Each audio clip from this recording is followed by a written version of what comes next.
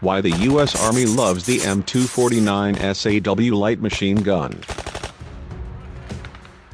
Somebody in an infantry squad needs to carry automatic firepower that can suppress the enemy while the fire team shoots, moves, and communicates.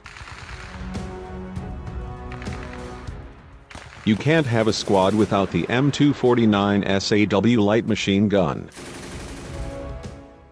SAW stands for Squad Automatic Weapon and there are two in U.S. Army infantry squads, one for each fire team, and three in Marine Corps infantry squads for each Marine fire team. The SAW has numerous advantages.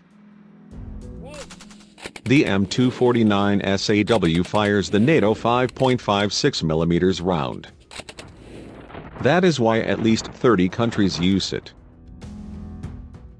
It lacks the stopping power of the M60 machine gun that shoots a 7.62mm round.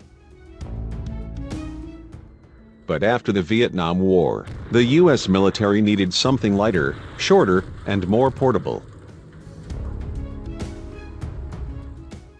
The SAW jumped into action in 1984. It was a variant of the Belgian FN, Fabrique Nationale, Minimi light machine gun. It can be fed by magazine, drum, or belt.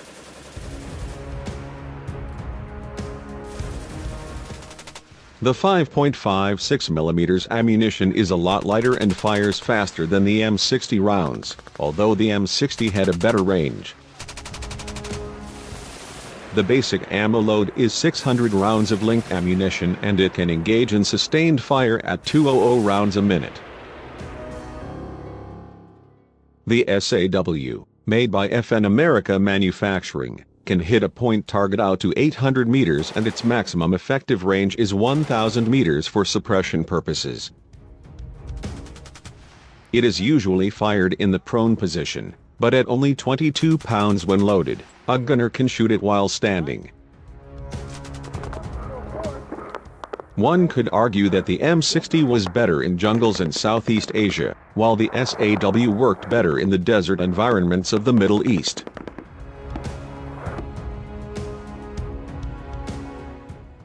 This is because the 5.56mm round had difficulty penetrating the jungle foliage in Vietnam. This was less of a problem for the M60. The SAW is difficult to retire,